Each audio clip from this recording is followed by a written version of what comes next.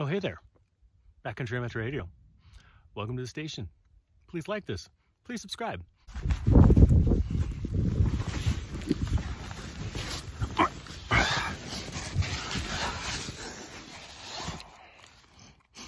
It's tight in here. My uh, my surroundings are a little odd. I'm actually in a snow hole. You can see the outside world a little bit. Nope. I'm actually in a temporary shelter using an emergency bivy. And uh, you can see I've used my skis and ski poles as brace to kind of support the roof a bit. And then I've actually put a little bit of snow on it to give it some weight. What you can do if you've got paracord is you can actually make a much more solid roof.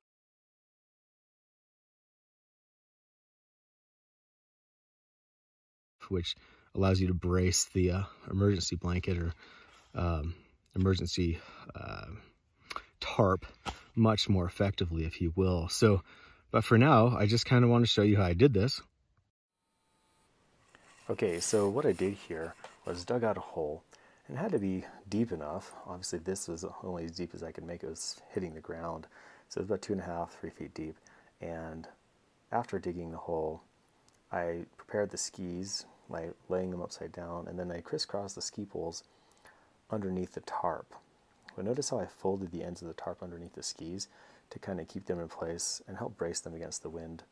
And that was aided by the snow being packed down on the sides. Every backcountry traveler, no matter what season, you need to know how to build some kind of temporary shelter. Um, normally in the winter, you can build a snow cave, but the snow is so shallow here. It's only about three and a half feet deep. And so that makes it a little bit harder to build a snow cave. So, this. So I just dug a hole out in the snow, put the emergency tarp over it, and voila. I've got a place to hang out, weather a storm.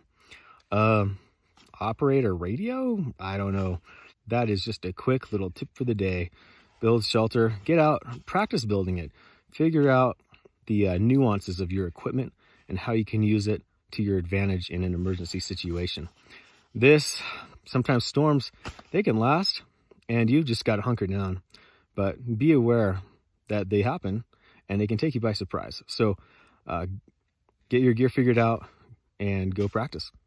Backcountry Amateur Radio.